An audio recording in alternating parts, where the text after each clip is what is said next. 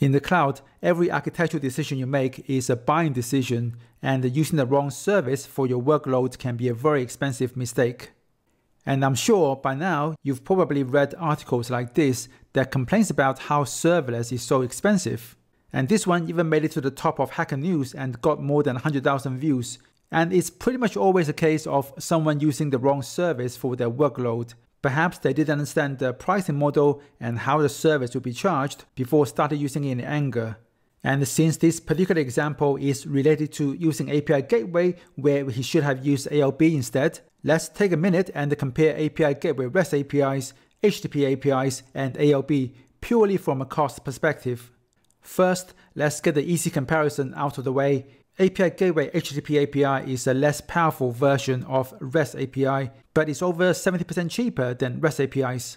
One important thing to note here is that HTTP APIs are metered in 512 kilobytes chunks, so a request to upload a 1 megabyte document would count as two HTTP requests on your AWS bill. And in terms of features, the promised feature parity never happened, and the HTTP APIs are still missing many features that we want, like API keys and usage plans, resource policies, and integration with WAF, as well as integration with X-Ray and ALB. So while it's a lot cheaper, it's also missing a lot of things that you may want. But at least the pricing calculation is still simple enough and is based on the number of requests that you handle. When it comes to ALBs, it's a bit more tricky. There's an hourly charge for having an ALB, but then there's also the load balancer capacity units or LCUs, which is calculated based on the number of factors averaged over an hour.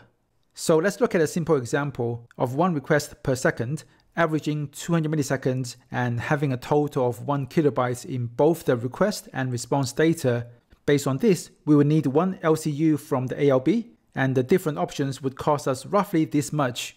But as we scale up the throughput to say 1000 requests per second, we will need to work out how much LCUs we need which will be the greatest of these four categories connections per second, active connections per minute, gigabytes per hour, and the rule evaluations per second. And in this case, based on having a thousand new connections per second, we're going to need 40 LCUs. And from that, we can work out the cost for ALB, which turns out to be significantly cheaper compared to API Gateway, REST, and HTTP APIs. Of course, ALB doesn't have all the capabilities that API Gateway REST API has. For example, it doesn't support custom authorizer Lambda functions, but for high throughput scenarios, the cost of API Gateway can be very significant and makes it almost a no-brainer to switch to ALBs. And as a rule of thumb, if you have a high throughput requirement, then you should prefer services that you pay by the hour because they're typically order of magnitude cheaper when running at scale. Okay, I'll see you in the next lesson.